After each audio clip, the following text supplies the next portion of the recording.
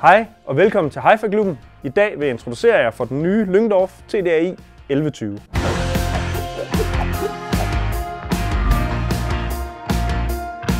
Lyngdorf TDI 1120 er bygget i klassisk design, ligesom de andre Lyngdorf produkter, med front i aluminium og display i glas.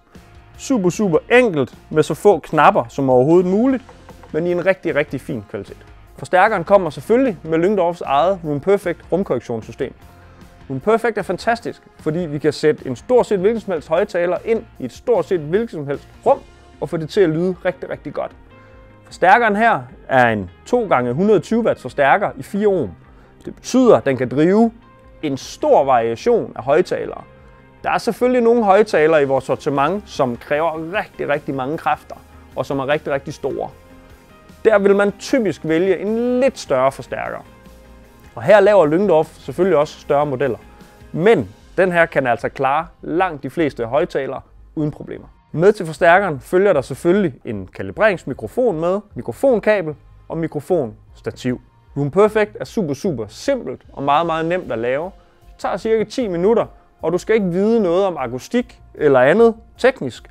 Systemet laver alle beregningerne selv og optimerer lyden optimalt i dit lytterum til din lytteposition.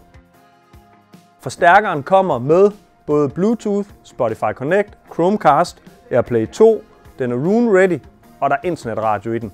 Så den kommer altså direkte ud af kassen, klar til at spille musik lige præcis som du gerne vil have det. Forstærkeren har en bred vifte af tilslutningsmuligheder. Vi har en fonoindgang til pladespillere med Moving Magnet Pickup. Vi har et ekstra analogt input. Derudover har vi et analogt output.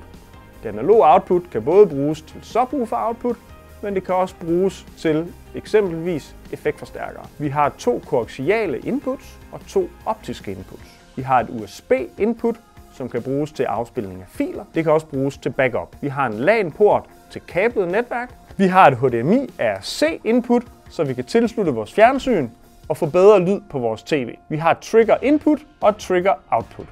Trigger outputtet er rigtig smart at bruge for eksempel sammen med en effektforstærker, så den tænder og slukker sammen med forstærker. Forstærkeren kommer uden en fjernbetjening. Den er tiltænkt til at blive brugt med en app til sin smartphone. Den findes både til iOS og til Android. Ønsker man alligevel en almindelig fjernbetjening, kan man selvfølgelig tilkøbe en.